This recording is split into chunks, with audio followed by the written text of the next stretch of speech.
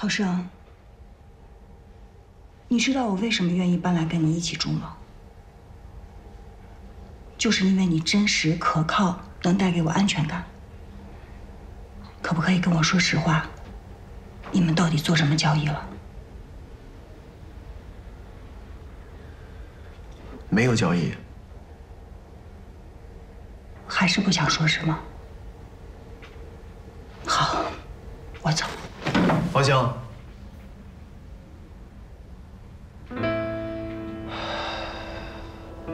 把邦利公司的股份卖给江琪了。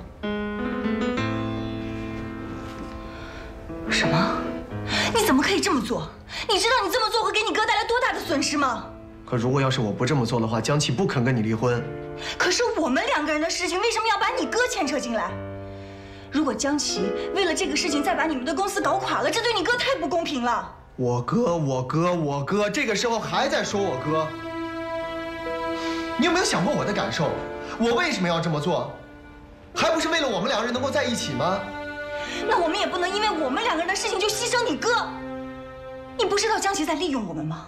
我不怕江琪在利用我。反正他现在同意跟你离婚了，到时候你跟他办完手续，咱们俩就结婚，你就是我的合法妻子，没有任何人能够分开我们，江琪也不能再折磨你了。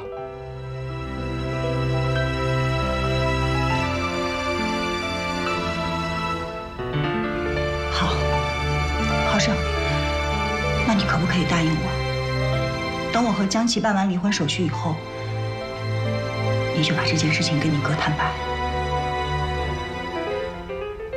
你可以做到吗？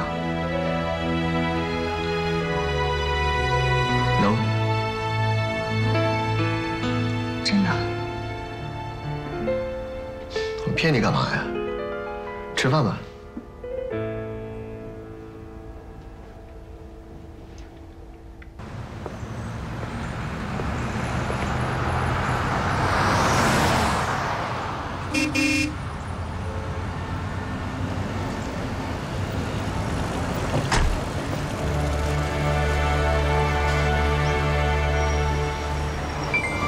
为什么忽然同意离婚？是不是跟浩生做了什么交易？不用问那么多，回头你就知道了。走吧，别耽误时间。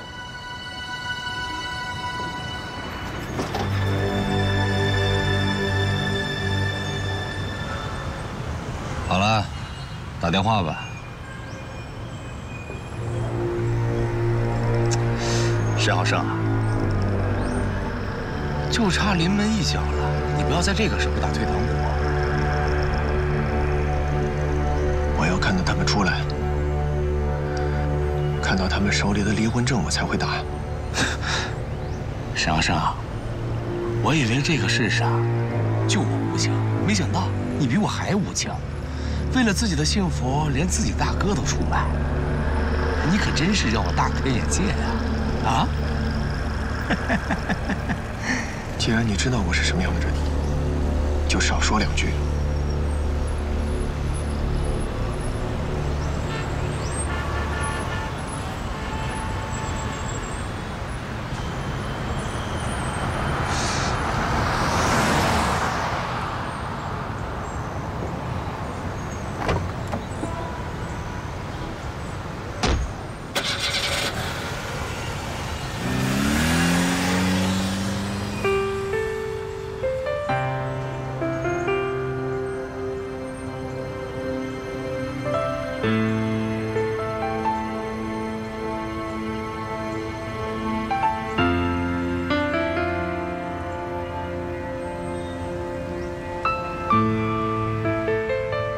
现在可以打电话了吧？打呀！沈浩胜，这事儿你也知道，如果惹急了江总，你知道什么下场？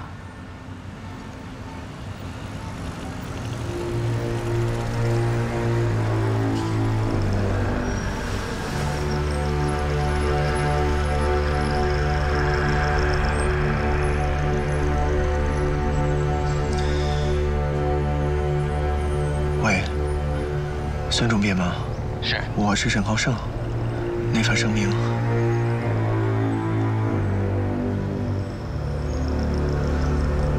可以发了。好，开车，龙子。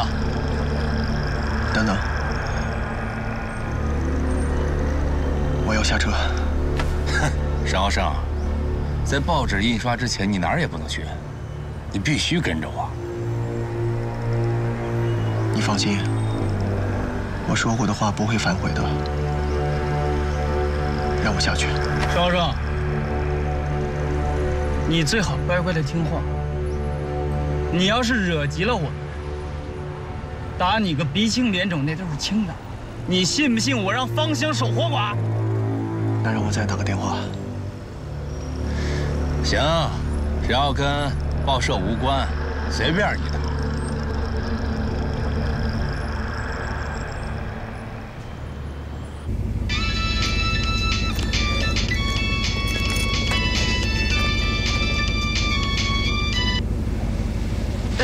浩胜，你在哪儿呢？什么时候回家？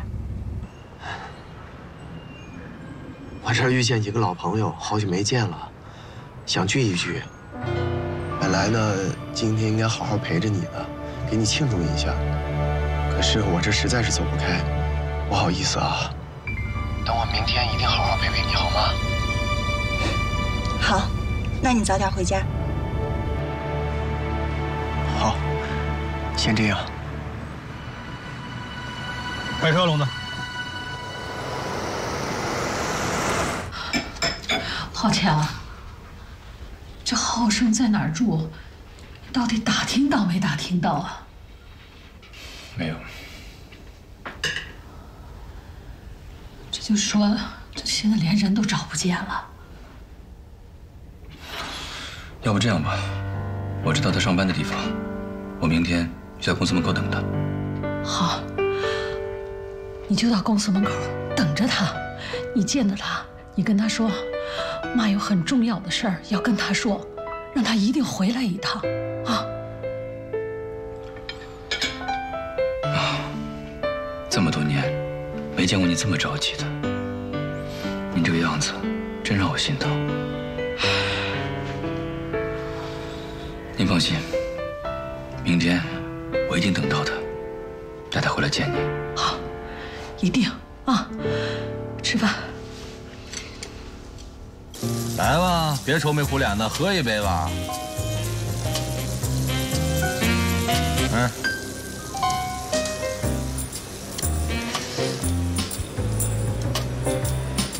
还挺能喝。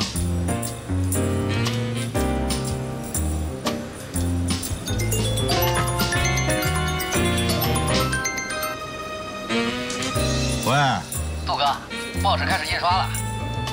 好，好，好，好。哎，刚接到消息，报纸已经开始印刷了。行了，你小子可以回去了。龙子，把手机给他。